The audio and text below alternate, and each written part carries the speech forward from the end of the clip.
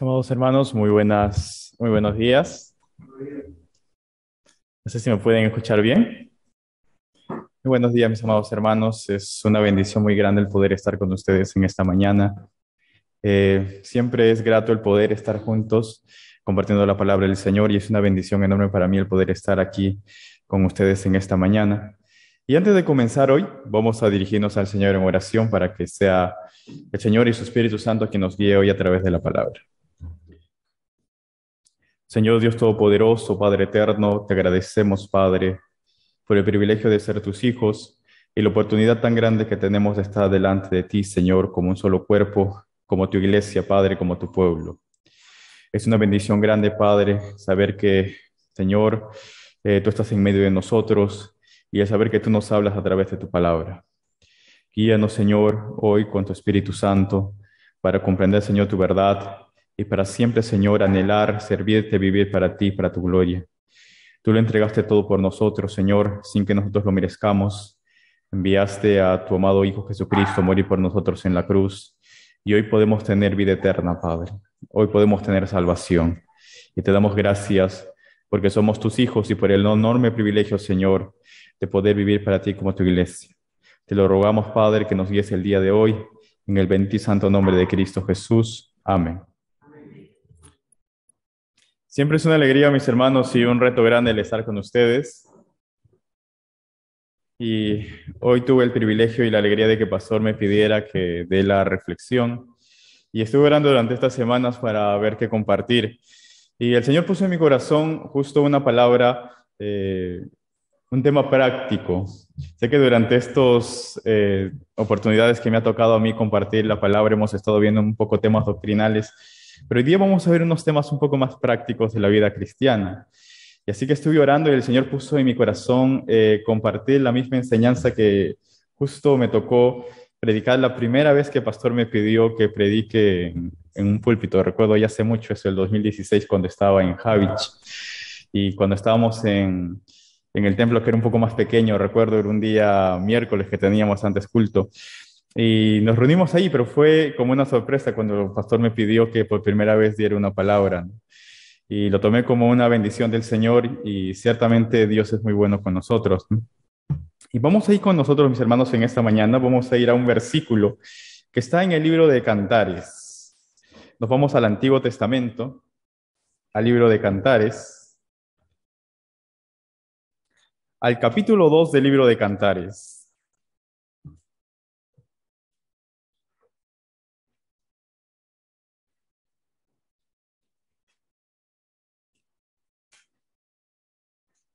Cantares, los libros poéticos, después de Salmos, Proverbios, Eclesiastés, Cantares. Y vamos a ir al capítulo 2 del libro de Cantares. Y hoy vamos a leer un versículo que es el versículo 15. Cantares capítulo 2, versículo 15. Dice la palabra del Señor así. Cazadnos las zorras, las zorras pequeñas que echan a perder las viñas, porque vuestras viñas están en ciernes. Tomando este versículo eh, de Cantares capítulo 2, versículo 15, es que saqué el título para la prédica de esta mañana. Y este es un pasaje que se nos muestra aquí en el libro de Cantares y quizás pareciera un poco oscuro para la mayoría de nosotros. Para la mayoría de nosotros pareciera un pasaje que no tiene un significado o un significado muy claro, porque para poder entender este pasaje quizás deberíamos remontarnos un poco a cómo era el tiempo en esa época en la tierra de Israel, ¿no? ¿Cómo era el tiempo y cómo es que vivían los agricultores en esa época en la tierra de Israel, ¿no? Aquí vemos en el libro de Cantares donde se nos está hablando acerca de ese amor, ¿no? Entre el rey y esa mujer a quien el rey amaba. Y en medio de ese poema de amor viene este versículo que es la conclusión del versículo 2, ¿no? Que nos casen las zorras, las zorras pequeñas que echan a perder las viñas. Y eso nos lleva a entender un poquito qué es lo que pasaba en ese tiempo, en ese contexto, cuando nos vamos a esas zonas del día de hoy, ¿no? Con los agricultores, ¿no? Cuando vemos, por ejemplo, a los zorros, eh, los zorros en realidad en este caso en específico, los zorros pequeños o las zorras pequeñas, las pequeñitas, cuando uno los ve, aparentemente se ven muy bonitos. Son como pequeños animalitos que se ven muy tiernos en ocasiones. En ocasiones uno los ve tan juguetones, tan pequeños, y bueno, algunos los confunden con perros y se vuelven famosos, pero los zorros están ahí, ¿no? Y cuando nos vamos a Medio Oriente, en esa parte, pues los zorros es un animal bastante común. Y en específico los zorros pequeños. ¿Qué hay con los zorros pequeños? Porque es que la Biblia utiliza este versículo y nos habla de los zorros pequeños. Porque había algo que sucedía. Cuando uno estaba en esa zona de Medio Oriente y cuando uno sembraba las viñas, que es como saben la planta donde crecen las uvas, pues solían venir los zorros atraídos por el olor de la fruta. A estos animalitos les gusta también mucho la fruta. Y los zorros suelen comer siempre el fruto de la viña, ¿no? Y suelen morder y comer los frutos de la viña. Sin embargo, estos zorros tienen una cualidad que los zorros pequeños aún no diferencian muy bien entre lo que es una viña madura y una viña que todavía no está madura. Y por eso el versículo dice, cazad las zorras, pero en especial las zorras pequeñas, porque estas zorras pequeñitas tienen esa cualidad de echar a perder las viñas esas viñas que están en cierre. Y la Biblia, aquí el escritor de Cantares nos habla sobre esta situación y sobre este pasaje porque hay una enseñanza muy profunda acá. Hay una enseñanza práctica que podemos ver en nuestra vida. Primero vamos a las zorras pequeñas. Nos dice Cazad las zorras pequeñas. ¿Por qué las zorras pequeñas? Aparte de que estos animalitos pequeñitos, aunque parezcan cuando uno los ve a primera vista inofensivos, sin embargo, estas zorras pequeñas pueden causar un terrible, terrible, terrible perjuicio al agricultor. Y por eso, más que a las zorras grandes, los agricultores tenían mucho, mucho, mucho, eh, digamos, cuidado con las zorras pequeñas. Esto nos hace pensar sobre algo también en la vida. Las zorras pequeñas, ¿no? A veces nosotros, por la mayoría, la mayor parte del tiempo, solemos prestar poca atención en las cosas pequeñas que hay a nuestro alrededor. Lo más común es que nosotros prestemos atención a situaciones grandes, ¿no? O a problemas grandes o circunstancias grandes que están a nuestro alrededor. Pero no nos damos cuenta que muchas veces las cosas pequeñas realmente pueden marcar la diferencia o pueden tener aún mayor repercusión que las cosas que nosotros vemos como grandes.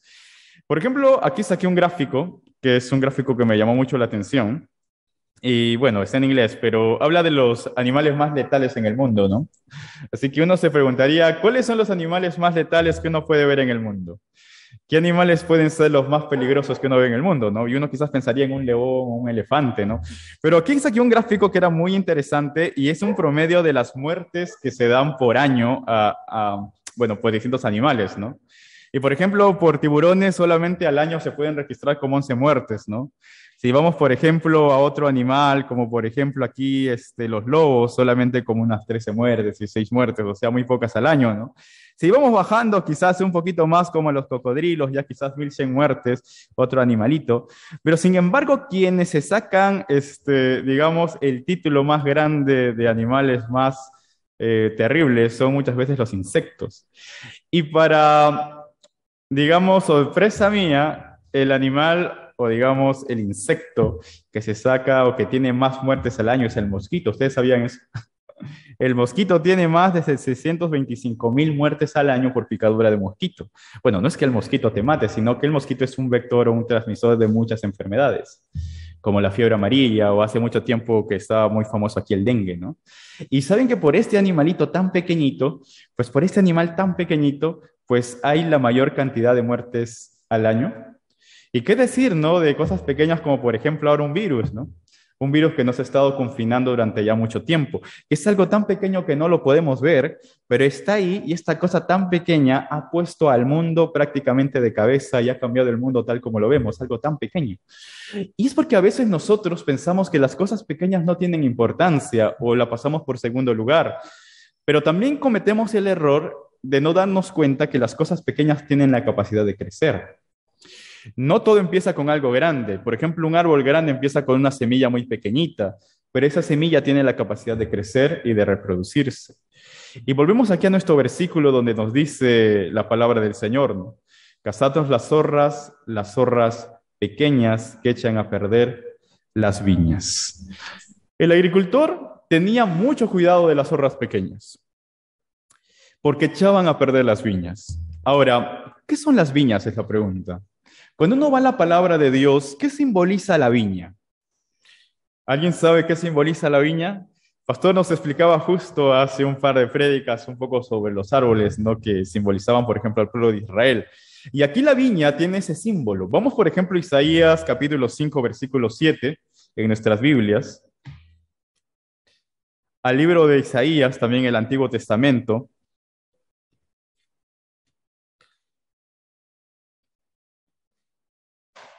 Isaías capítulo 5, versículo 7, cuando vamos ahí a la palabra del Señor, es el profeta refiriéndose al pueblo de Israel. Y dice así, ciertamente la viña de Jehová de los ejércitos es la casa de Israel. Los hombres de Judá planta delicioso suya, esperaban juicio y aquí vileza, justicia y aquí clamor. El profeta enfoca aquí a la viña, a una viña como la casa de Israel, en otras palabras, como el pueblo de Dios.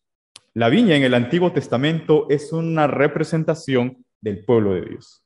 Representa al pueblo de Dios. Y cuando vamos al Nuevo Testamento, la figura continúa. Eh, Juan, eh, podemos ver que en el libro de Juan, el capítulo 5 también, el capítulo 15, perdón, el versículo 5, ahí el Señor Jesús nos da una enseñanza y hace también alusión a esta palabra, ¿no? A la palabra viña. Y vemos en el capítulo 15 del Evangelio de Juan, en el Nuevo Testamento, en nuestras Biblias, que ahí está diciendo el Señor, ¿no? Dice, yo soy la vid, dice el Señor Jesús, vosotros los pámpanos, el que permanece en mí y yo en él, este lleva mucho fruto, porque separados de mí, nada podéis hacer. El Señor es la vid, nosotros los pámpanos, nosotros somos el cuerpo de Cristo, el símbolo de una viña en el Nuevo Testamento es el símbolo del cuerpo de Cristo o de la iglesia. De ahí la expresión, cuando ustedes han escuchado la viña del Señor, ¿no? Cuando hace referencia a la iglesia, ¿no? De Cristo, o cuando hace referencia a los creyentes. Somos parte de la viña del Señor. Somos el cuerpo de Cristo. Entonces, una viña, cuando vamos a la palabra de Dios, hace representación al cuerpo, al pueblo de Dios, al cuerpo de Cristo, no a los creyentes. Y dice que casemos las zorras pequeñas porque estas zorras pequeñas tienen esa capacidad de poder echar a perder las viñas, ¿no? La relación entre los creyentes, la relación del cuerpo de Dios, la relación de los hermanos, ¿no? Tiene esa calidad de poder echar a perder esto. Y ahora, entrando un poquito más a profundidad, dice, echa a perder estas viñas porque estas viñas están en cierne. ¿Qué significa las viñas en cierne? La mayoría de nosotros no somos agricultores. Yo tampoco no sabía muy bien cuando estudiaba este texto qué significaba que una viña esté en cierne. En otras traducciones ustedes pueden encontrar que la viña esté en flor. Y es básicamente cuando se encuentra en cierne la viña, es, se encuentra en esta situación. Es así, es cuando la uva eh, está floreciendo antes de convertirse en el fruto. Esto es lo que se conoce como cierne. Eh, que están en flor, y es en ese momento en donde empieza a botar ese olorcito característico de la uva. Es en ese momento entonces cuando vienen las zorras pequeñas y ahí nuevamente volvemos a las zorras pequeñas. ¿Por qué odiaban tanto los agricultores a las zorras pequeñas más que a las zorras grandes? Una zorra grande ya sabía diferenciar entre una viña madura y una viña en cierne. Y así que una zorra grande, adulta, generalmente ataca a lo que es una uva y trata de comerse el fruto maduro. Pero una zorra pequeña Así esos cachorritos, aunque como son pequeños solamente se guían por el olor, así que tratan de agarrar la uva en cierne, porque en ese momento es bastante olorosa. Ellos tratan de agarrar esa uva en cierne y al no poder atacar esa uva en cierne, como son pequeñas, empiezan a morder lo que es el tallo de la planta. ¿Y qué terminan haciendo cuando muerden el tallo de la planta? Destruyendo toda la planta no solo el fruto, destruyen toda la planta. Y como son pequeñas y se esconden ahí, es difícil a veces verlas, ¿no? Y a veces uno no les toma atención y si es un agricultor, a veces no puede ver esas zorras pequeñitas que se esconden porque son chiquitas, pero estas zorras al no poder llegar a la fruta y peor aún cuando esté en cierne, o sea, cuando recién está en flor, aún no hay un fruto, vienen y empiezan a morder los tallos y al final terminan destruyendo toda la planta. Y esto es terrible para un agricultor, porque usted imagínese perder toda su cosecha aún antes de que esto haya dado fruto. Es algo terrible, es algo doloroso para el agricultor. Y por eso los agricultores tenían este, digamos, repulsión a esas zorritas pequeñas, ¿no? Que se metían a destruir la viña y lo peor que venían a destruir la viña cuando estaba en flor, cuando estaba en cierne. Y ahora, ¿qué significa esto en el mundo espiritual y en esta vida cristiana? La viña del Señor, el cuerpo de Cristo, Estas zorras pequeñas tienen esa cualidad de meterse en la viña del Señor o en la iglesia de Cristo cuando esta iglesia, cuando esta viña recién está madurando. Y es muy importante que tengamos esto en cuenta porque como creyentes estamos creciendo todos a la estatura y la plenitud de Cristo. Ninguno de nosotros puede decir que lo ha alcanzado ya, como decía el apóstol Pablo, ¿no? Yo no digo que lo ha alcanzado ya, sino que sigo a la meta, al premio del supremo llamamiento. Todos estamos siendo moldeados a la estatura y la plenitud de Cristo. Algunos pueden haber avanzado un poco más en la fe que otros. Pero sin embargo, todos estamos creciendo en la fe. Y las zorras pequeñas tienen esa cualidad de ir a atacar generalmente o influir más a aquellos que están empezando a madurar aquellos que están empezando a crecer. Aquellos que recién están madurando en la fe, aquellos que están en ciernes, cuando la viña está creciendo y cuando está uniéndose, a ellos van a atacar las zorras pequeñas. ¿Y qué son estas zorras pequeñas? En nuestra vida nosotros muchas veces prestamos atención a los pecados grandes. Prestamos atención a los problemas grandes. O prestamos atención a cosas muy malas que se están haciendo. Pero la Biblia nos llama y nos hace prestar oído y decir, cuídense de las zorras pequeñas, porque esas zorras pequeñas pueden echar a perder toda la viña del Señor, todo su crecimiento en la iglesia. Y en especial cuando ustedes están en ciernes, cuando están en flor, cuando están madurando, cuando están creciendo. Y son esas cosas pequeñas como pecados pequeños que nosotros vemos y pequeños pecados o pequeñas cosas que están en nuestra vida o en la iglesia o alrededor nuestro que aunque parezcan cosas a la vista insignificantes de que por qué te vas a preocupar por eso, por qué te llama la atención eso. Sin embargo, tienen la cualidad de poder echar a perder la viña cuando está madurando. Tienen esa cualidad de poder echar a echar a perder la viña cuando está madurando. Y entre ellas hay muchas, hay muchas que podemos ver. Pero por razón del tiempo decidí escoger solamente unas cuatro que son las más comunes zorras pequeñas que tenemos en nuestra vida. Y esas cuatro comunes zorras pequeñas que la vemos siempre a nuestro alrededor y que siempre están ahí medoreando, tratando de morder el tallo y tratando de echar a perder la viña, en especial cuando uno está recién madurando en la fe, cuando estamos recién en. Y vamos a ir a analizar cada una de estas zorras y decidir usarlo por los colores de las zorras. Así que quiero presentarles una primera zorra que a veces no tomamos en cuenta, pero que entra ya en nuestra vida y la Biblia nos habla mucho sobre esto. Y es lo que llamaríamos a la zorra gris, ¿no? ¿Qué es una zorra gris cuando uno piensa? ¿Qué es una zorrita gris? Una zorra gris, cuando uno ve el color gris, eh, es algo que no es ni blanco ni negro, ¿no? El gris es un color que se encuentra en el medio del espectro, ¿no? No podemos decir que es un blanco ni podemos decir que es algo negro, ¿no? Eh, sin forma es algo gris que está ahí, ¿no? Y esta zorra gris generalmente se manifiesta a través de las palabras, ¿no? Y podemos decir que la zorra gris se manifiesta a través de las palabras hirientes que decimos a otros, ¿no? Y esto muchas veces es difícil de tomar en cuenta porque como una zorra gris, muchas veces las palabras que decimos puede ser que no haya una intención tan mala, que no sea negra, pero sin embargo puede que no se haya dicho en el momento oportuno y puede ser, digamos, como que gris, ¿no?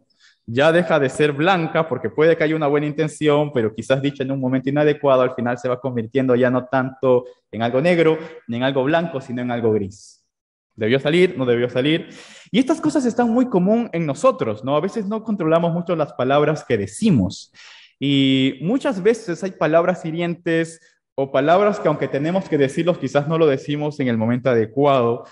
Y esto termina convirtiéndose quizás con una buena intención, termina convirtiéndose ya en algo ya no tan blanco, sino se va convirtiendo en algo gris que puede dañar a otros, ¿no?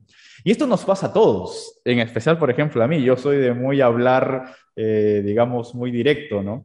Y en mi contexto, a veces yo soy de personas que estoy acostumbrado a que me hablen muy directo. No obstante, no en todos está esa cualidad de que les hablen de una manera directa o clara. No todos están preparados muchos menos, mucho menos aquellas personas que aún están quizás en ciernes, no madurando. Y esto es algo que como cristianos o en nuestra vida tenemos que tener mucho cuidado, ¿no? Las palabras que decimos. A veces las palabras que decimos pueden ser palabras hirientes. Y la Biblia nos habla mucho sobre esto, porque esta zorra se mete mucho en la iglesia y mucho también en nuestra vida cristiana. Tanto es así que cuando el apóstol Santiago escribe su carta, una carta general a la iglesia, él toma varios capítulos justo para tratar sobre este tema, ¿no? Y habla sobre el tema de la lengua. Y él dice, ¿no? En Santiago capítulo 1, el versículo 26, quizás uno de los pasajes más conocidos. Vamos a leerlo, dice así, Santiago 1, 26, uno de los pasajes quizás más conocidos de la carta de Santiago. Dice, si alguno de ustedes se cree religioso entre vosotros y no refrena su lengua, sino que engaña, sino que engaña su corazón, la religión de tal es vana. Esto es muy importante. Eh, hay algo que uno va aprendiendo conforme va ah, viviendo la vida cristiana y es el de poder refrenar la lengua. Eh, de verdad, Santiago también refiriéndose a esto, refiriéndose a esto, dice, ¿no?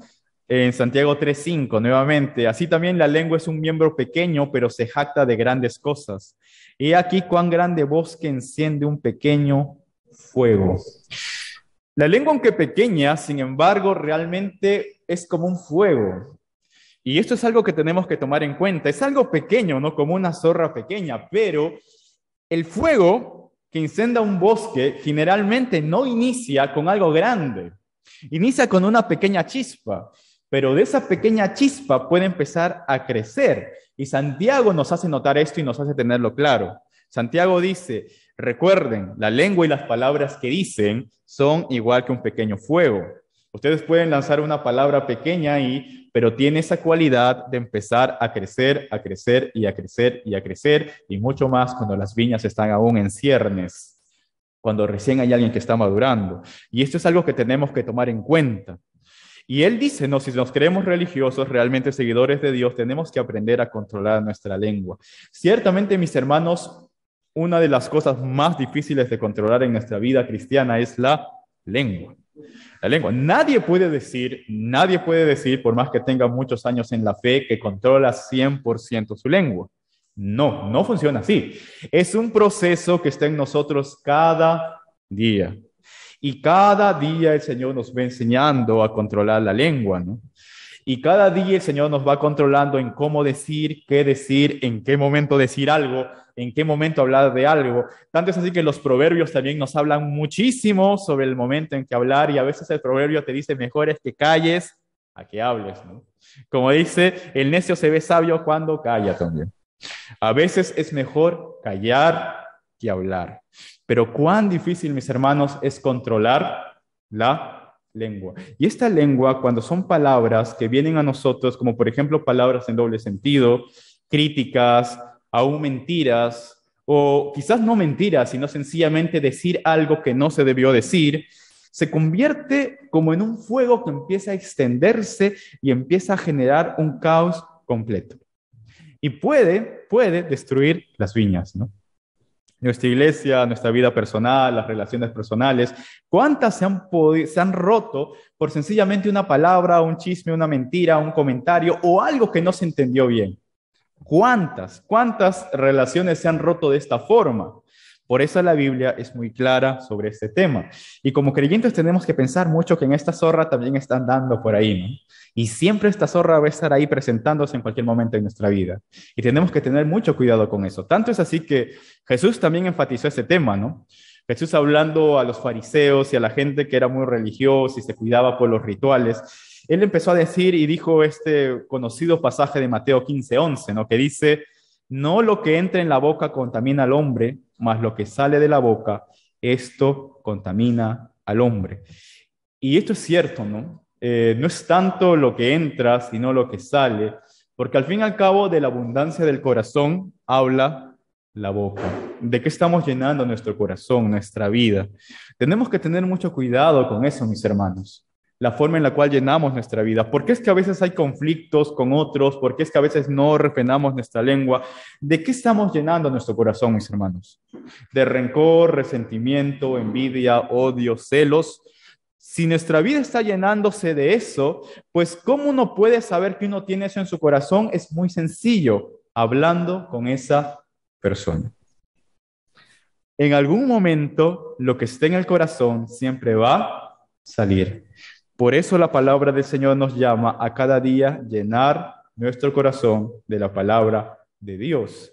Y de hecho, el, el, que estemos memorizando versículos no lo hacemos sencillamente porque tenemos que memorizar versículos o como que es parte del culto. No, mis hermanos, es porque eso tiene que llenar nuestro corazón. De eso se tiene que llenar nuestro corazón. Si nuestro corazón se llena de eso, eso es lo que nosotros también vamos a mostrar a otros. Esto es muy importante en nuestra vida cristiana, ¿no? También el Señor nos hace notar otro punto que es muy importante en Mateo 12:36 con respecto a esto. Dice, mas yo os digo que de toda palabra ociosa que hablen los hombres, de ella darán cuenta en el día del juicio. ¿Qué es una palabra ociosa? Aquella palabra que hemos dicho sin pensar. Tengan cuidado, mis hermanos, con esto. Nos pasa a todos. A veces decimos palabras sin pensar. Pero mis hermanos, el Señor dijo que de toda palabra ociosa, todo aquello que hayamos dicho sin pensar, también dice que vamos a dar cuenta de ello en el día del juicio. ¿Por qué? Porque mis hermanos, eh, algunos dicen que las palabras se los lleva el viento, pero no siempre es así. Muchas veces las palabras tienen gran repercusión en otros. Y una palabra se puede alojar en el corazón de otro durante mucho tiempo, para bien o para mal. Por eso la palabra del Señor es clara y nos dice que de toda palabra ociosa, toda palabra que uno diga sin pensar, también eso uno va a tener que dar cuentas delante del Señor, porque uno puede hacer mucho daño como mucho bien con las palabras que dice. Y esto nos dice para todos, ¿no? Realmente es algo que tenemos que tomar en cuenta. Volviendo a Santiago, el capítulo 3, nuevamente Santiago en el capítulo 3, el apóstol Santiago, nos dice lo siguiente, ¿no? Eh, cuando vamos al capítulo 3 de Santiago y vemos el versículo 8 al versículo 10. Dice, pero ningún hombre puede domar la lengua, que es un mal que no puede ser refrenado, llena de veneno mortal. Con ella bendecimos al Dios Padre y con ella maldecimos a los hombres, que están hechos a la semejanza de Dios. De una misma boca proceden bendición y maldición. Hermanos míos, esto no debe ser así. El apóstol Santiago nos deja claro este punto. Mis hermanos, cuidemos la boca, cuidemos lo que decimos, pensemos en lo que decimos. ¿Por qué? Porque de una misma boca no puede salir maldición y bendición. En el mundo eso puede ser normal, que ustedes vean gente que sale maldición y bendición de una misma boca. Sin embargo, ¿qué dice el apóstol? Esto no debe ser así entre nosotros. Y esto es algo difícil de manejar, pero el Señor nos ayude, mis hermanos. Por eso tenemos que tener mucho cuidado con lo que decimos. No tenemos que tener, como dijo el Señor Jesús, de toda palabra ociosa, palabra que se ha dicho sin pensar, algo que se ha dicho sin pensar, vamos a dar cuentas. Y por eso quizás un ejercicio muy útil que a mí me enseñaron de chiquito y bueno, lo vi por ahí, es, es algo muy útil en nuestra vida, es pasar por los tres filtros cuando tú digas algo, ¿no? Y, y esto evita decir palabras ociosas, ¿no? Tener la disciplina de pasar por los tres filtros, no sé si se los han dicho alguna vez, pero hay tres filtros que, por ejemplo, podemos ver en nuestra vida, con los cuales podemos evitar y pensar siempre, ¿no? O sea, antes de decir algo, primero tenemos que pensar si es verdad esto que voy a decir es verdad, tengo certeza de que es cierto. Lo que voy a hablar es cierto realmente, yo tengo realmente la seguridad de que es así. Ok, si es cierto, correcto, pasaste el primer filtro. Pero este no es solo un filtro, sino que necesitas pasar al siguiente filtro. Ok, puede que sea cierto, pero la manera en que tú la vas a decir es algo bien intencionado. O sea, vas a decir esta verdad con buena intención, porque recuerden, mis hermanos, que la verdad dicha sin amor también es dura y es algo peligroso. Por eso, cuando uno ve en los proverbios, siempre van a encontrar esta dualidad, ¿no? El proverbio dice que nunca se aparte de ti la misericordia y la verdad. Las dos van de la mano.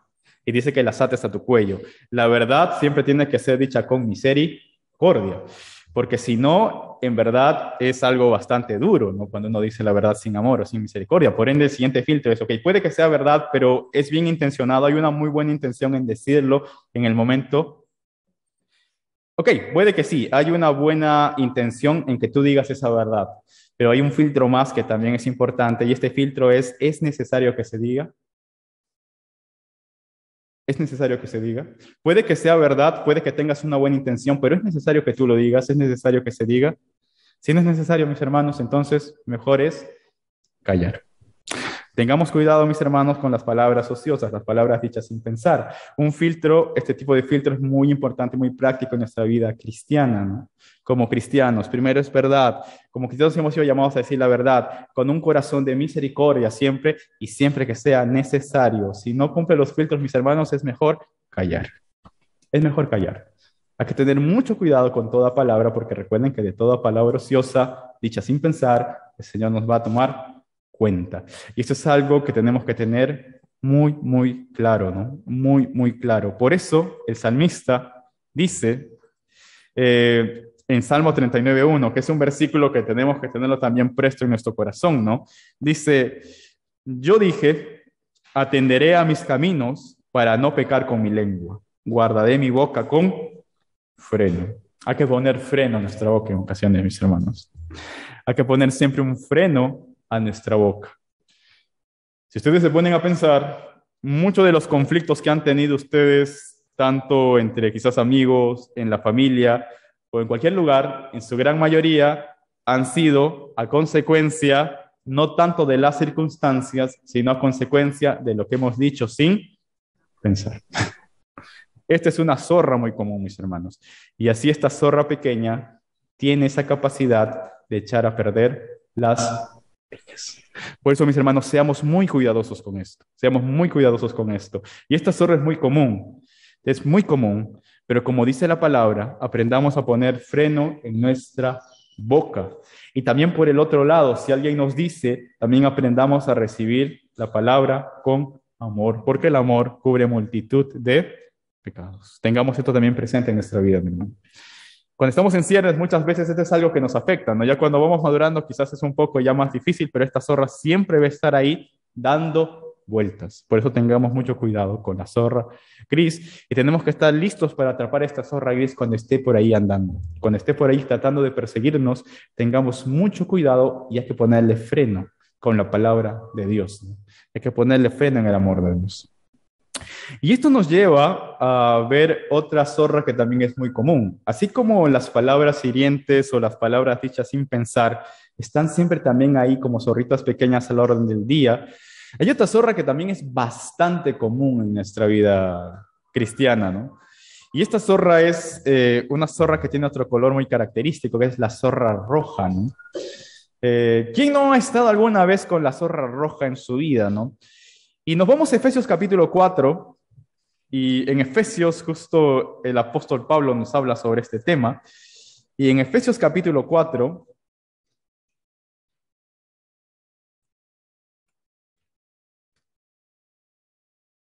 Efesios lo encontramos en el Nuevo Testamento. Efesios capítulo 4, vamos a leerlo juntos. Efesios capítulo 4. Y vamos a leer el versículo, voy a leérselos yo, eh, quizás es un poquito largo, pero del 17 al 27. Eh, Efesios 4, del 17 al 27. Pablo está hablando aquí sobre un tema que es muy importante para nuestra vida cristiana, la vida cristiana, ¿no? la vida en Cristo. Y Pablo dice lo siguiente. Esto pues digo y requiero en el Señor, que ya no andéis como los otros gentiles que andan en la vanidad de su mente teniendo el entendimiento entenebrecido, ajenos a la vida de Dios por ignorancia que en ellos hay por la dureza de su corazón, los cuales después que perdieron toda sensibilidad, se siguieron a la lascivia para cometer con avidez toda clase de impureza. Mas vosotros no habéis aprendido así de Cristo. Si en verdad la habéis oído y habéis sido por él enseñados conforme a la verdad que está en Jesús, en cuanto a la pasada manera de vivir, despojaos del viejo hombre que está viciado conforme a los deseos engañosos, renovaos en el espíritu de vuestra mente y vestíos del nuevo hombre creado según Dios en la justicia y santidad de la verdad. Por lo cual, desechando la mentira, hablad verdad cada uno con su prójimo, porque somos miembros los unos de los otros. Airaos, pero no pequéis, no se ponga el sol sobre vuestro enojo. Eh, cuando el apóstol Pablo está hablando acerca de la nueva manera de vivir, de que nosotros no tenemos que ser como los incrédulos, nos habla de dejar, de despojarnos del pecado, despojarnos de la mentira. Y él añade un punto muy importante aquí, que él dice, airaos, pero no pequéis. O sea, pueden enojarse, pero mis hermanos, no pequen. Aquí es donde entra esta zorra a entrar en calado, ¿no? Que es esta zorra roja del enojo. El enojo es una eh, respuesta involuntaria del ser humano. Eh, el enojo no es algo que, digamos, nosotros podamos controlar en primera instancia.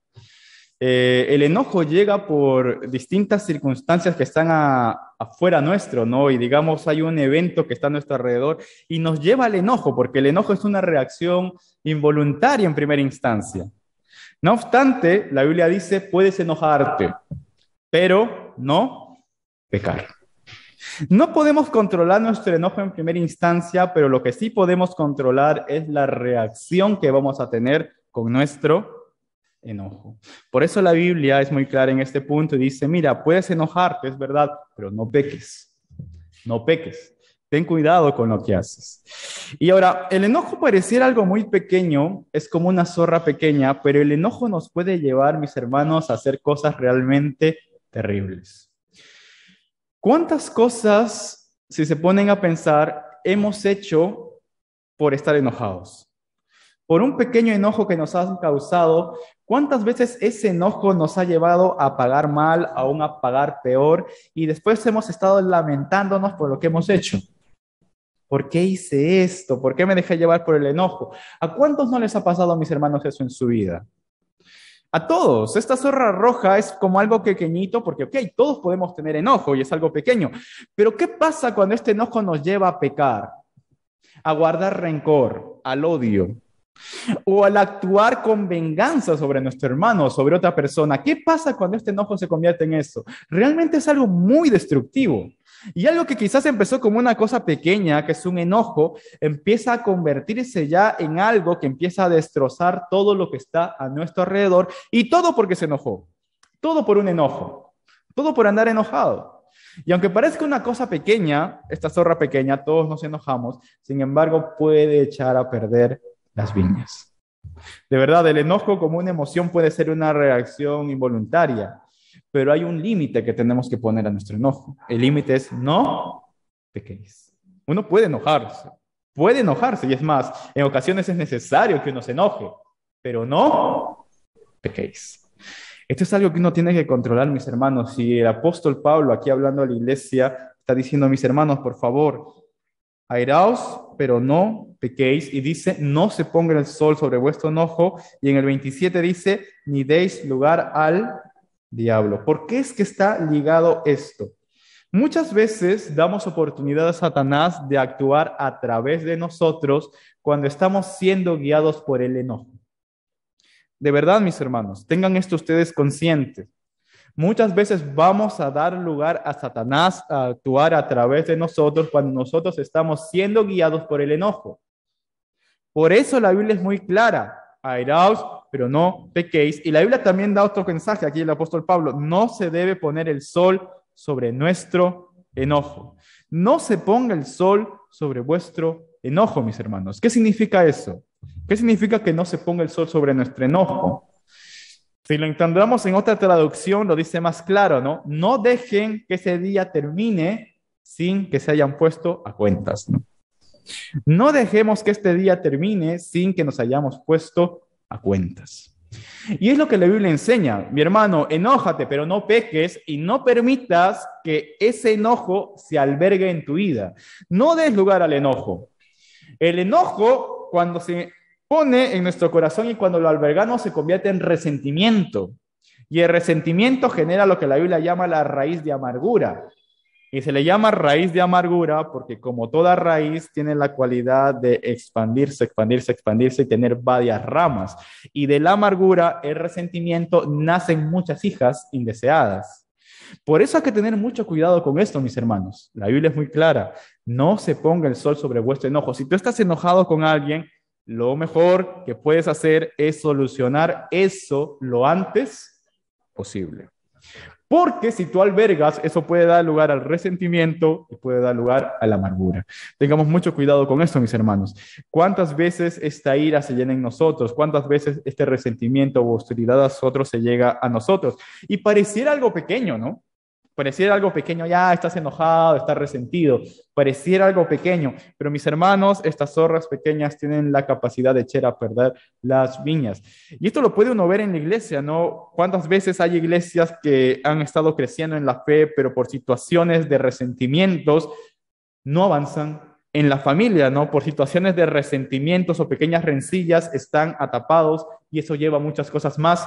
Y uno se da cuenta de esto, ¿no? Pero la Biblia nos llama a atrapar esta zorra. Enójate, pero no peques. Y no dejes que el sol se ponga sobre tu enojo, porque si es así, tú puedes dar lugar a ser un instrumento de Satanás.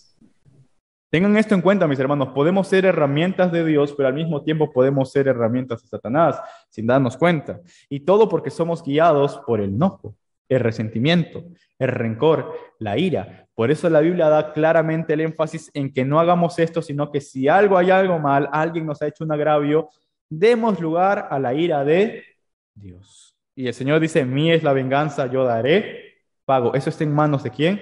De Dios, mis hermanos. Tengámoslo siempre presentes. Nuestra mente siempre va a almacenar datos, mis hermanos. Nuestra mente siempre va a guardar información, pero no dejemos que ésta sea llenada por el resentimiento. ¿Cómo lo hacemos? cuando agarramos el enojo y lo cortamos de manera inmediata. ¿Qué más dice la palabra de Dios? Cuando vamos a Primera de Corintios capítulo 6, el versículo 7, la Biblia nos dice lo siguiente, ¿no? Refiriéndose, por ejemplo, en la congregación, en la iglesia. Y Pablo estaba hablando esto que estaba pasando aún en la iglesia de Corinto, entre creyentes, ¿no? Miren cómo es que esta zorra, la zorra eh, roja del enojo, había impregnado tanto en la iglesia de Corinto. La iglesia de Corinto sufrió de esto. Tanto es así que Pablo llega y habla y dice, así que por cierto, dice Pablo hablando de la iglesia de Corinto, ya es una falta que entre vosotros tengáis pleitos, que entre ustedes mismos estén peleando, ¿no? Y Pablo les dice, ¿por qué mejor no sufren el agravio? ¿No son cristianos acaso? En otras palabras, es como decir, ¿acaso no dijo el Señor Jesús, si alguien te pega en una mejilla, tú da la otra? ¿Por qué no sufres el agravio? ¿Por qué no sufrís más bien el ser defraudados. En la iglesia de Corinto estaba pasando esto. Había pleitos, había rencor y enojo entre los hermanos y esto había dado que la iglesia se encuentre en una división, en una división completa. Y habían bandos aún en la iglesia en la división, ¿no? Y unos enojados contra otros. Y esto hasta generaba división espiritual, ¿no? Yo soy de Pablo, yo soy de Apolo, y el hermano dividido con el otro. Y entre ellos era tanto el caso, que como narra aquí también este en la carta a los Corintios, que aún entre ellos habían empezado a poner denuncias, ¿no? Ante los tribunales del mundo. Estaban llevando ante los tribunales a sus hermanos y Pablo pues viene y dice, ¿cómo es posible que ya es algo malo que ustedes estén peleándose entre ustedes mismos, llamándose cristianos, como para que ahora también se den ese problema de irse a los tribunales del mundo, a estar ventilando ante los tribunales del mundo sus problemas. ¿Acaso mejor no deberían ustedes eh, sufrir el agravio? ¿Acaso no es mejor ser defraudado por la causa de Cristo? ¿Acaso no tenemos un Dios que, como dice, no, yo daré pago, mi es la venganza? ¿Acaso no hay un Dios ahí que está viéndolo todo? ¿Por qué hacen esto? ¿Qué los llevó a la iglesia de Corinto a encortarse en estas circunstancias? Algo tan pequeñito como la zorra roja del enojo. Tanto que el apóstol tuvo que ir a enviarles una carta por la circunstancia en la cual ellos se encontraban. Simplemente pudiendo solucionar estas cosas entre ellos. ¿no? El amor cubrirá multitud de pecados, pero no obstante, esto había llegado a causar una división muy grande en la iglesia de Corinto. Y lo que pasa en el presente no es la excepción. Esto puede generar división en nuestra congregación, en nuestras familias, en nuestra propia vida podemos andar mal y no crecer. ¿Por qué? Porque abrigamos enojo y resentimiento.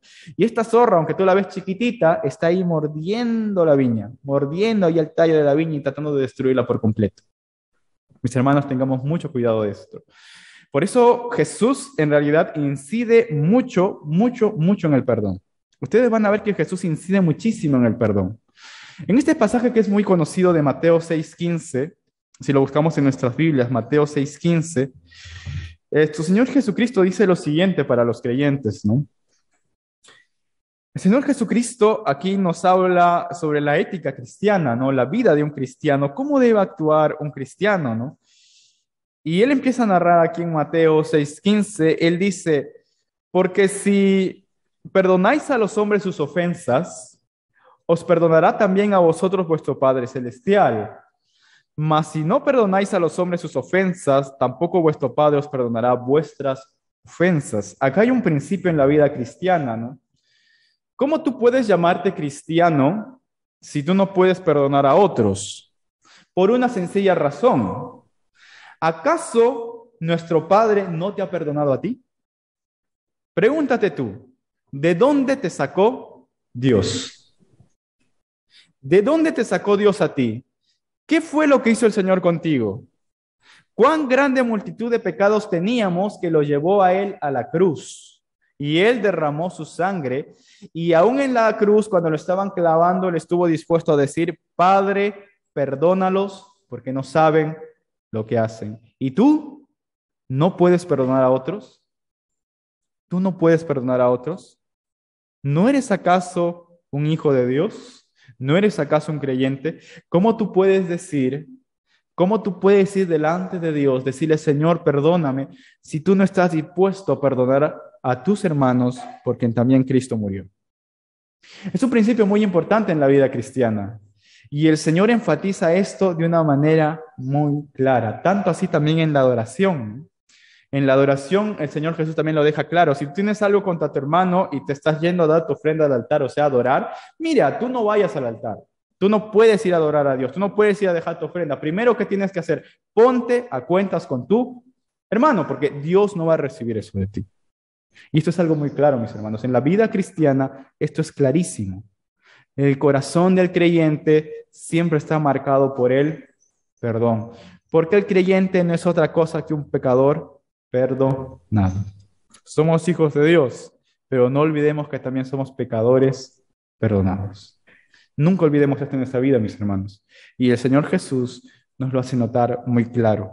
Esta zorra del enojo de verdad puede ser repelida cuando nuestro corazón está lleno de amor y del perdón de Dios. Mis hermanos, no se ponga el sol sobre vuestro enojo. Si esta zorra viene a querer atacar y destruir su viña, ponga ahí el amor, el perdón. Y si es necesario que sufra la ofensa, súfrela. Pero recuerda que hay un Dios justo que ve todo, ¿no? Y Él se encarga de todo. Y la venganza siempre es de Dios. Y esto nos lleva a pensar, mis hermanos, en otra zorra que quizás es muy común en nuestra vida, porque uno puede vivir con palabras hirientes, que a veces decimos palabras sin pensar, el enojo también está presente, pero hay otra que se mete muy sutilmente en nuestras vidas y tiene esa cualidad de impedir que uno pueda crecer en Dios y tiene la capacidad de uno ir apartándolo de Dios y de la comunión y cuando menos se da cuenta ya está como que en las garras del maligno, ¿no? Y esta se mete mucho en la vida de todo creyente. Y es una zorra, ¿no? Que es la zorra azul, ¿no? Eh, esta zorrita azul también entra mucho y es muy perjudicial. Y es la zorra azul, pues, de el desánimo y la depresión. Esto es muy común también en la vida cristiana, aunque parece algo muy pequeño, algo como que mira, ¿por qué estás así? No, anímate, una cosa así, es algo que se mete en la vida cristiana y aunque parezca así algo muy chiquito, pues se mete en la vida de los creyentes, aún de los siervos de Dios.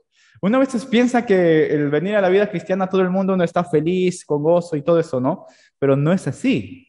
Muchas veces uno va a tener luchas y encuentros muy claros con esta pequeña zorra del desánimo y de la depresión. Grandes hombres de Dios en toda la Biblia lo han tenido, ¿no? Y han luchado con esto. Se lucha, porque mientras estemos en este mundo y en esta carne, el Señor Jesús ya nos ha dicho que en este mundo tendréis aflicción. Sin embargo, tenemos que confiar en Dios porque Dios ha vencido al mundo. Y esto se mete mucho en nuestras vidas, ¿no? Y se caracteriza porque genera siempre desesperanza, nos quita la esperanza, nos frustra, ¿no? nos pone insuficiencia, nos pone tristeza y esto impide, por ejemplo, dificulta mucho nuestra capacidad de pensar, ¿no? de pensar claramente. Y se mete mucho en la vida, mis hermanos, de los creyentes, en especial cuando están en ciernes, ¿no? cuando están ahí madurando y creciendo en la fe. se mete mucho en nuestras vidas y es algo muy común que uno lo puede ver. Y muchos grandes hombres de Dios en medio de circunstancias, Dios ha permitido que pasen por esto, porque realmente Dios también ahí va moldeando nuestro carácter, ¿no? Pero uno no tiene que dar lugar a esto. Por ejemplo, un hombre muy conocido que es Job. Cuando uno va a Job capítulo 10, y vamos a Job capítulo 10, el versículo 18, miren que aún un gran hombre como Job se encontró en esta circunstancia cuando le vinieron las dificultades, ¿no? En su vida. Y miren las palabras de Job, ¿no? Job es el libro que está antes de Salmos. Y en Job capítulo 10 podemos encontrar unas palabras del gran hombre de Dios Job. Y miren lo que el gran hombre de Dios Job dice en Job capítulo 10, el versículo 18 y el versículo 19. Aquí Job se encuentra en una situación de desesperanza, desánimo y depresión tan fuerte que Job dice estas palabras. Job 10, 18 dice, ¿por qué me sacaste de la matriz? Le está diciendo a Dios. Hubiera yo expirado y ningún ojo me hubiera visto. Fuera yo como si nunca hubiera existido, llevado del vientre a la sepultura. Job se encontró en esta situación, ¿no? Job se encontró hundido en esto. Y Job dice, no, Señor, ¿por qué me hiciste nacer? En otras palabras, ¿por qué me hiciste nacer? Yo no escogí nacer. ¿Por qué tú hiciste que yo naciera? ¿Y por qué no hiciste al menos que yo naciera muerto? Le dice. ¿Por qué no hiciste al menos que naciera muerto? Las palabras de Job son bien duras, pero ¿cuántos muchas veces no se han encontrado en el mismo lugar de Job? Y quizás no con las circunstancias de Job, pero en cansancio y en fatiga en la vida le han dicho a Dios, Dios, ¿por qué me hiciste nacer? De verdad él lo experimentó y lo experimentó muy fuertemente. Y él estuvo sumido en esta situación, ¿no? Él hasta maldijo el día en que nació cuando vemos a Job. Y nos encontramos a este gran hombre que estaba preso de esto. Esto también puede venir a nuestras vidas, mis hermanos. Muchas veces con el servir a Dios, aún estando en la iglesia, puede venir el cansancio y eso puede dar lugar a mucho desánimo en nuestra vida. Por eso, mis hermanos, como cristianos, como creyentes, necesitamos mucho, mucho, mucho la comunión con hermanos, la comunión los unos con los otros. Elías también experimentó esto, ¿no? Elías experimentó también esto y de Elías es una situación bastante curiosa, ¿no? Porque Elías experimenta el desánimo y la depresión después de una gran victoria espiritual y tú dirías, Elías, lo tienes todo, has visto el poder de Dios. Pero Elías, después de estar en el Monte Carmelo y de enfrentarse a los profetas de Baal, y demostrar que Dios es el único Dios, él entra en una profunda depresión, ¿no? Y miren cómo encontramos a Elías después de ese suceso en Primera de Reyes capítulo 19. La Biblia nos dice lo siguiente, ¿no? En Primera de Reyes capítulo 19, en el versículo 13, que Elías se va al desierto solo, no quiere ni siquiera que su ayudante lo acompañe, y se va solo al desierto y se mete en una cueva. Y dice la Biblia que cuando lo oyó Elías, que Dios estaba ahí, cubrió su manto con su manto y salió y se puso a la puerta de la cueva. Y aquí vi una voz diciendo, Elías, ¿qué haces aquí? ¿Qué haces aquí, Elías? Esta es la voz de Dios, Elías, ¿no? Pastor una vez hizo una prédica sobre esto que de verdad, si, si pueden escucharla, escúchenlo. Pero aquí nos habla acerca de la depresión que tuvo Elías, ¿no? Y Dios le hace esa pregunta, ¿qué estás haciendo aquí, no? Y esa es la pregunta que también viene a nosotros, mis hermanos, ¿qué estás haciendo aquí? Cuando uno se encuentra en ese valle de la depresión y del desánimo, Dios siempre viene a guardarnos con su amor, pero también nos hace esta misma pregunta, ¿no? ¿Qué estás haciendo aquí? Yo no te he llamado a estar aquí. Elías cometió un error y era el error de dejar irse solo a sentirse deprimido. Cuando uno siente la depresión o el desánimo, esta zorra suele apartarnos de aquellos que nos aman, ¿no? Y suele apartarnos y alejarnos de otro. Y a veces algunos dicen, no, déjalo solo una cosa así, pero no necesariamente es así. Esta zorra suele apartarnos y dejarnos solos para hacernos sentir tristes, ¿no? Y para hacernos hundirnos en las cosas de este mundo, en los problemas y nuestras dificultades. Pero recuerden, mis hermanos, que el Señor le dijo a Elías, ¿qué haces aquí? Este no es el lugar al cual yo te he llamado. Yo te he llamado a llevar la palabra mi voz. Lo mismo es para un creyente. ¿Qué hace solo? Una de las razones, entre otras, por las cuales Dios nos dio la iglesia, es porque necesitamos la comunión los unos con los otros. La vida cristiana, mis hermanos, no es algo que se lleva solo, es algo que se lleva en un cuerpo y ese es el cuerpo de Cristo. No existen esos cristianos solitarios, que el Señor es mi pastor y cosas así, no. La vida cristiana se lleva en la iglesia. Por eso la Biblia dice, no dejando de congregarnos. ¿Por qué es tan importante el congregarnos? Realmente porque cuando nos congregamos y estamos en un cuerpo, podemos unirnos y fortalecernos aún en medio de las dificultades y el obrar de Dios, la palabra de Dios, siempre está manifestándose a través de la iglesia. Esto es muy importante. Muchas veces ejemplifican a la iglesia como eh, una fogata, ¿no? Donde cuando uno ve en una fogata y todos los leños están unidos, el fuego está con mucha fuerza. Pero si tú sacas un leño de la fogata, al fin y al cabo puede estar encendido por un tiempo, pero luego se va a apagar. En la vida cristiana es lo mismo. Muchas veces viene el desánimo y viene la depresión y vienen ataques de Satanás de este tipo, pero ¿cuál es la finalidad de esto? Apartarnos de la comunión. Por eso, mis hermanos, debemos mantenernos siempre firmes en el Señor, en la comunión. Aunque esto venga a nuestras vidas, ¿no? Aunque esto quiera atacarnos en nuestras vidas, debemos mantenernos firmes en la comunión, en el estar los unos con los otros, en real vivir una vida en unión. Por eso la Biblia dice, no dejando de congregarnos. Aunque esto parezca muy pequeño, cuando uno da lugar a esto, realmente en nuestra vida cristiana podemos perder mucho tiempo separados de Dios. Y cuando uno da lugar a esto, uno puede apartarse durante mucho tiempo. Pero ahí viene la palabra de Dios que dice, ¿qué haces aquí? ¿Dónde debes estar tú? Nunca olvidemos eso, mis hermanos. ¿Dónde debemos estar, a dónde el Señor nos llamó. En la Biblia podemos encontrar muchos ejemplos de personas que se encontraron en estas circunstancias. Y quizás uno de los más llamativos que habla con Dios como en una oración, encontrándose en esta circunstancia, y recibe como una respuesta de Dios, lo podemos encontrar en un salmista, ¿no? en el Salmo 42.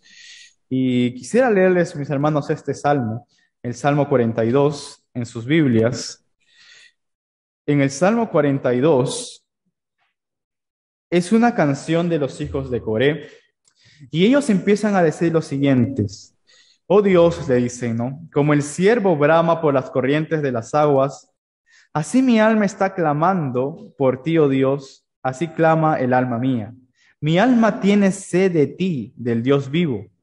¿Cuándo vendré y me presentaré delante de Dios? Fueron mis lágrimas mi pan de día y de noche, mientras me dicen todos los días, ¿dónde está tu Dios? Me acuerdo de estas cosas y derramo mi alma dentro de mí, de cómo yo fui con la multitud y la conduje hasta la casa de Dios, entre voces con alegría y de alabanza del pueblo en fiesta. ¿Por qué te abates, oh alma mía, y te turbas dentro de mí? Espera en Dios, porque aún he de alabarle salvación mía y Dios mío. Dios mío, mi alma está batida en mí.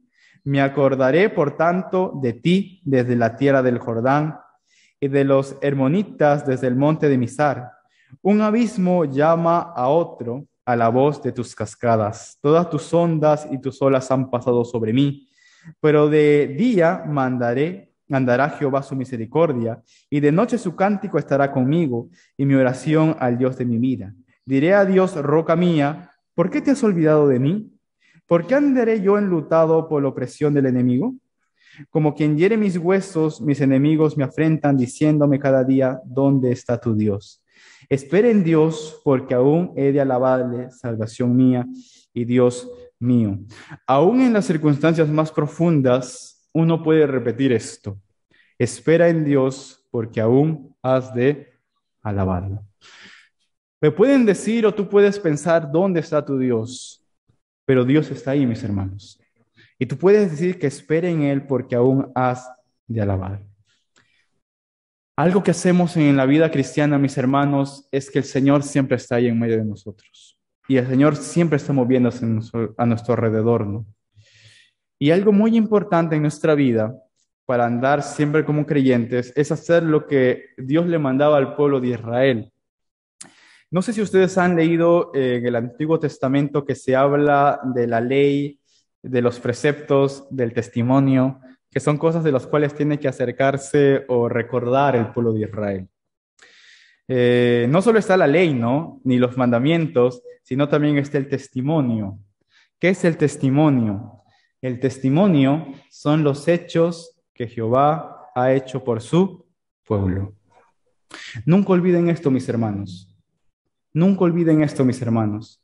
Dios mandó al pueblo de Israel hacer muchas fiestas y cada fiesta simbolizaba un acto de los testimonios de lo que Jehová había hecho por su pueblo. Tú nunca te olvides, mi hermano, lo que Dios ha hecho por ti. Tú nunca te olvides, mi hermano, las obras que Dios hizo en tu vida. Ten presente siempre los testimonios de Jehová en tu vida. La ley de Dios y los testimonios son muy importantes para recordar lo que dice aquí el salmista, empere en Dios porque yo aún he de alabarle y Él es la roca mía. Aún hay muchas más razones para alabar a Dios. Y así, mis hermanos, esto nos lleva ahora eh, a finalizar y ver la última zorra quizás en esta mañana, que no se diferencia mucho de las otras porque también es muy común encontrarnos con ella. Y la podemos ver quizás en muchos momentos en nuestra vida. Esta suele volver de distintas formas y en distintas intensidades. Y no es otra que la zorra negra, ¿no? ¿Y por qué la zorra negra, no? Porque cuando ella entra a nuestra vida hace que veamos todo como si fuera negro, veamos todo oscuro. Y es la zorra negra del temor, ¿no? ¿Cuántos no han sentido temor en su vida, mis hermanos? Ahora, hay clases de temor, ¿no? Hay un temor sano, un miedo sano que nos ayuda a vivir en la vida, ¿no? Como por ejemplo el de no cruzar la pista cuando están los carros cruzando a gran velocidad, pues eso nos ayuda a vivir, a sobrevivir, ¿no? O un temor que es muy importante, que es el temor de Dios, ¿no? Que es el apartarnos del mal.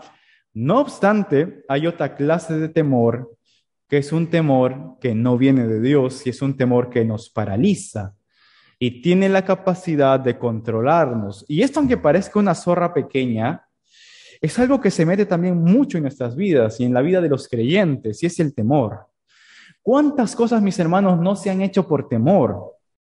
¿Cuántas cosas no se han hecho por miedo? Si nos pondríamos a pensar solo en nuestras vidas, ¿cuántas personas no has predicado por temor? ¿no? ¿Cuántas veces no has dicho lo que tenías que decir en ese momento preciso por temor? ¿Cuántas veces quizás no has pedido perdón o no te has reconciliado por alguien solo por temor? ¿Cuántas veces el temor nos ha paralizado, nos ha controlado, ¿no? Y nos ha llevado a la desesperación. ¿Cuántas veces no ha pasado esto en nuestra vida? Y aunque parezca una zorra pequeña, algo muy chiquito, algo que por qué, no, está ahí destruyendo nuestras vidas, mis hermanos. Y la Biblia habla mucho también sobre el temor. Eh, una de las palabras que más se le repite, por ejemplo, a Josué cuando van al libro de Josué es no temas, no temas, no temas, no temas. Y es una palabra muy importante que no está de más. El Señor le repite muchas veces a Josué que iba a entrar o iba a llevar al pueblo a la tierra de Canaán, no temas, no temas, no temas, porque yo estoy contigo no temas. Y eso es algo muy importante también en nuestra vida. Nosotros que estamos viviendo la vida cristiana, el Señor nos va a repetir muchas veces esta palabra, no temas. El temor puede paralizarte, el temor realmente puede llevarte a la ansiedad, puede llevarte a la desesperación. Si tú dejas que esta zorra controle tu vida, mi hermano, realmente tú vas a estar atada, como con grillentes, así. No vas a poder moverte ni aquí ni para allá. Y esto en la vida cristiana, en la viña del Señor, impide que muchos cristianos puedan realmente vivir o servir a Dios para la gloria de Dios. No sé si ustedes recuerdan la parábola de los talentos en Mateo capítulo 25. Y si ustedes van al versículo 25, quiero que vayan conmigo. Mateo 25, 25. Aquí estamos en que el Señor da talentos a distintos siervos. Y nos encontramos ahora con un siervo que Dios, el, dueño, no, el Señor había entregado a cada uno talentos y hubo uno que reprodujo al doble, otro reprodujo más, pero hay uno que no reprodujo ningún talento, sino que escondió el talento que Dios le había dado, en Mateo capítulo 25.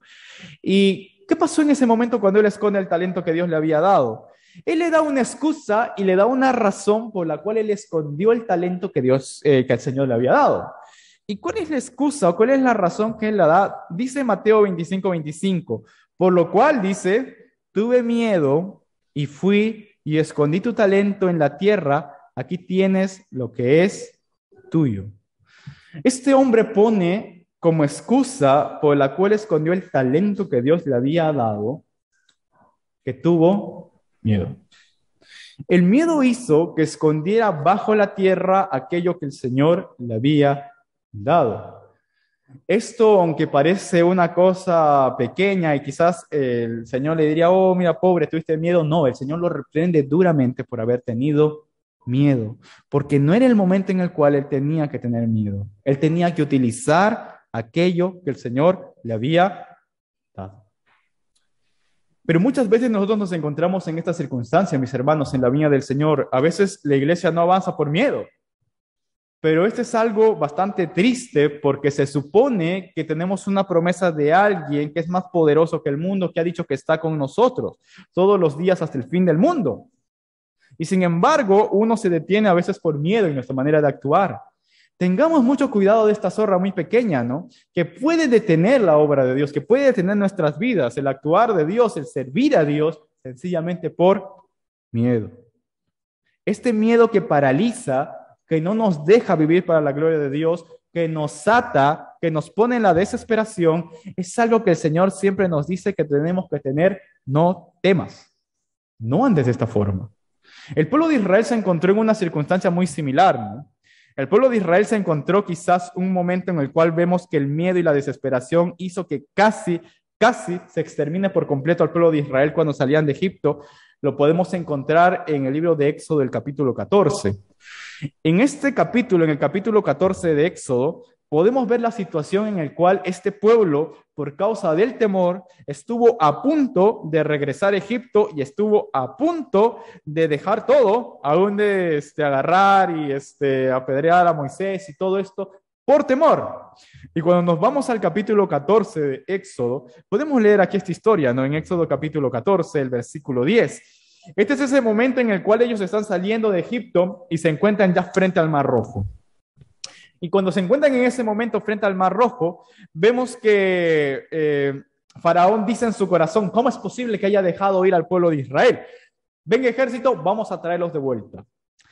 Y dice la Biblia en Éxodo capítulo 14, versículo 10, y cuando Faraón se hubo acercado a ellos, los hijos de Israel alzaron sus ojos y aquí que los egipcios venían tras ellos, por lo que los hijos de Israel, dice la Biblia, temieron en gran manera y clamaron a Jehová.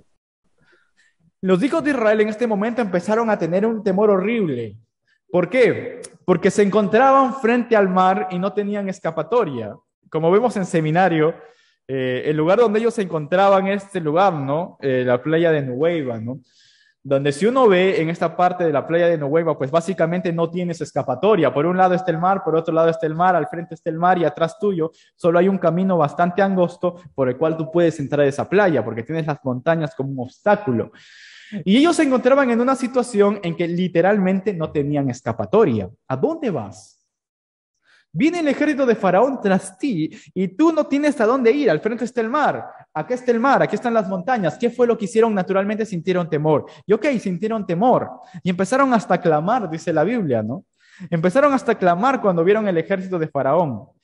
Pero después de clamar, uno podría decir, miren, Dios de Israel, ustedes han visto cómo el Dios de Israel los ha sacado de Egipto. Ustedes han visto cómo el Dios de Israel empezó y mandó las plagas sobre Faraón. Ustedes han visto cómo el Dios de Israel hizo que ninguna plaga los tocase a ustedes entonces ese Dios puede librarlos. Ustedes quizás podrían esperar eso del pueblo de Israel. Estaban ahí a unos días nomás de que Dios había mostrado su poder con las plagas en Egipto. Pero ¿qué fue lo que hizo el pueblo de Israel? Porque se llenó de temor. Vamos al versículo 11, el versículo que sigue. Miren qué nos dice la Biblia en el versículo 11. ¿Qué es lo que hace el pueblo de Israel? Y dijeron a Moisés, dice la Biblia, ¿No había sepulcros en Egipto que nos has sacado para que muramos en el desierto? ¿Por qué has hecho así con nosotros que nos has sacado de Egipto? Les dice, llenos de miedo, en vez de confiar en ese Dios que había mostrado su poder, empiezan a decir, ¿no acaso estábamos allí en Egipto y podían al menos eh, meternos en un sepulcro y ahora tú nos has sacado aquí para morir en el desierto? Empiezan a atacar a Moisés. empiezan a atacar a Moisés. Mira, nos ha sacado aquí, ¿no? Para que muramos. Vamos a morirnos, empiezan a decir la gente. Vamos a morirnos, todo va a estar mal, nos vamos a morir. ¿Qué fue lo que pasó en su corazón? ¿Qué fue lo que hizo que ellos estaban a un paso de volver a la esclavitud? El temor. El temor hizo que este pueblo esté a un paso de decir, nos vamos a morir, todo va a estar mal, y querían volver nuevamente a la esclavitud de Egipto. Nuevamente volver a la esclavitud de Egipto. Querían mirar hacia atrás y nuevamente ponerse los grilletes y empezar a pisar el barro nuevamente en Egipto. Por temor, por miedo. El temor tiene esa cualidad, mis hermanos, de controlarnos, someternos. El temor es un arma realmente en las manos de Satanás muy, muy fuerte. Y uno tiene que tener mucho cuidado con esto en su vida. Por eso Jesús dejó claro esto también en nuestra vida cristiana en Lucas 9:62. Una de las frases más conocidas de Jesús, ¿no? Que él dice, ninguno que poniendo su mano al arado mira hacia atrás es apto para el reino de Dios. ¿Qué nos puede hacer mirar atrás? Las cosas que añoramos o el temor. Pero ninguno que pone su mano en el arado y mira hacia atrás, dice la Biblia, es apto para el reino Dios. El pueblo de Israel, por temor, estaba ahora mirando hacia atrás y queriendo volver a Egipto. Pero miremos qué dice la palabra de Dios, ¿no? La palabra de Dios es muy clara. La palabra de Dios es muy clara. Y esto nos lleva al versículo 13 de Éxodo. Dice, y Moisés dijo al pueblo, no temáis, estad firmes y ved la salvación que Jehová hará hoy con vosotros, porque los egipcios que hoy habéis visto, nunca más para siempre los veréis. Moisés hace algo muy importante que tiene que hacer todo hijo de Dios. Le dice, no temáis, sino que tienes que estar firme, firme. Habían varias opciones cuando venía el temor. La opción número uno era retroceder. Era una opción, dejarse llevar por el temor y retroceder. La otra opción que quizás podría ser una opción mucho más eh, buena, sería como una opción humana, ¿no? También de estar firmes. Manténganse firmes, les dicen, manténganse firmes, no teman. Manténganse firmes. Dios va a hacer algo, Dios va a mostrar su salvación. Manténganse firmes. Muchas veces, eh, cuando tenemos temor, el temor nos puede hacer retroceder, nos puede sumir ahí en la desesperación. Y muchas veces uno puede avanzar un paso más, que es algo mejor, ¿no? De estar firme, ok, en el temor me mantengo firme, me mantengo firme. Pero sin embargo, ¿qué es lo que Dios dijo al pueblo de Israel? Dios va en el versículo 15 y dice, entonces Jehová dijo a Moisés, ¿por qué clamas a mí? Di a los hijos de Israel que marcha. Nosotros podemos dejarnos llevar por el temor y retroceder, podemos quizás mantenernos fuertes y estar firmes, pero Dios generalmente nos va a decir que marchen. Dios generalmente nos va a decir, avanza, no temas, yo voy a estar contigo, como le dijo Josué, avanza. Como le dijo a Moisés, ¿por qué estás clamando? Di a los hijos de Israel que marchen. ¿A dónde? Marche. Pero ¿y es el mar, Señor? ¿Qué tienes en la mano? Extiende tu vara. Y Dios abrió camino. Puede que el temor venga a nuestras vidas, mis hermanos, pero no olvidemos que tenemos un Dios poderoso. Muchas veces el temor va a querer hacerte volver atrás o el temor te va a paralizar, pero Dios te va a decir que marches, que avances, que avancemos. Esta zorra cuando viene a nuestras vidas, mis hermanos, y trata de paralizarnos, trata de impedir que sirvamos a Dios, que llevemos el mensaje del Evangelio con otros, tenemos que sacarla y empezar a marchar delante del Señor. Esto es algo que nunca debemos olvidar, mis hermanos, en nuestras vidas. Hoy hemos visto algunas zorras pequeñas que realmente pueden echar a perder la viña de Dios. Hemos visto quizás las palabras hirientes, hemos visto acerca de nuestro enojo, la depresión o el desánimo y el temor. Estas solo son algunas de ellas. Pueden haber muchas más, mis hermanos. La pereza. ¿Qué más puede estar en nuestra vida que parezca una zorra pequeña que nos hunde? Pongámonos a pensar, mis hermanos, hay muchas cosas pequeñas que a veces pueden hundirnos. Pero como dice el versículo con el que empezamos hoy, mis hermanos, tenemos que cazarnos las zorras que echan a perder las piñas. Queremos madurar y crecer en el Señor, mis hermanos, tenemos que estar muy atentos a cazar estas zorras en nuestra vida. Y si vemos en nuestra vida que estas cosas se dan, no debemos dejar llevarnos por ellas. El amor de Dios siempre tiene que estar presente. Recordemos que como dice la palabra del Señor, el Señor es la vid verdadera, dice Juan 15 del 1 al 3. Y mi Padre es el labrador. La Biblia dice, todo pámpano que en mí no lleva fruto lo quitará, y todo aquel que lleva fruto lo limpiará para que lleve más fruto. Ya vosotros estáis limpios por la palabra que os he hablado. Mis hermanos, como viña del Señor, tenemos que ir limpiando nuestra vida de toda cosa pequeña que impida que crezcamos en Si estas zorras vienen a nuestra vida, tenemos que limpiar esto de la viña. Seamos conscientes, mis hermanos, de la que hay en nosotros. Y quiero finalizar con un versículo que está en Hebreos, el capítulo 12. Después de hablar acerca de los grandes hombres de la fe en el capítulo 11, en el capítulo 12 da como una conclusión. Y creo que es algo muy importante para nuestra vida cristiana. Dice Hebreos 12.1, por lo tanto nosotros también, teniendo en derredor nuestro gran, grande, tan grande número de testigos, despojémonos de todo peso y del pecado que nos asedia y corramos con paciencia la carrera que tenemos por delante mis hermanos, si hay cosas pequeñas en nuestra vida que no le hemos estado prestando atención, quizás sea eso lo que nos está deteniendo en la carrera de la fe. Y como dice el autor de Hebreos, mis hermanos, despojémonos de todo peso de pecado que nos hace. Despojemos de esas zorras pequeñas que están echando a perder nuestras viñas, mis hermanos. Y empecemos a correr con paciencia esa carrera que tenemos por delante. Que el Señor nos ayude, mis hermanos. Vamos a orar para terminar en esta mañana. Bendito Señor, Dios Todopoderoso. Padre, tú eres santo y misericordioso, tú eres eterno. Gracias, Padre, porque tú nos das siempre, siempre, Padre Santo, de tu fuerza. Y siempre estás guiándonos, Señor, también a través de tu palabra. Cada día, Señor, estamos creciendo más y más en ti. Y hay cosas aún, aunque pequeñas, que impiden que vengamos a ti, Señor, firmemente. Pero tú, Padre Santo, limpia, Señor, nuestras vidas. Permítenos ser instrumentos limpios en tus manos y que tengamos también conciencia de todas aquellas cosas que no te agradan en nuestra vida, aunque parezcan pequeñas e insignificantes. Pero Padre, como dice tu palabra también, aún una pequeña mosca, Señor, puede echar a perder el perfume. Que eso no suceda en nuestra vida, Señor, sino que tú puedas quitar toda aquella cosa que no te agrade de nosotros que tengamos nosotros la firmeza y el valor para poder echar y despojar de nosotros todo peso de pecado, para poder avanzar, Señor, en la carrera, para poder avanzar fielmente, Señor, en el camino, para poder fielmente servirte en todo momento. Te lo pedimos, Señor, por favor, haz esa obra en nosotros y permítenos tener ese corazón de compasión, de misericordia, de amor y de perdón, tal como Cristo. Que ese corazón esté en nosotros en todo momento y que podamos caminar siempre mirándote a ti, Señor, y siguiéndote a ti. Te lo rogamos, oh Padre bendito, en el bendito y santo nombre de Cristo Jesús. Amén.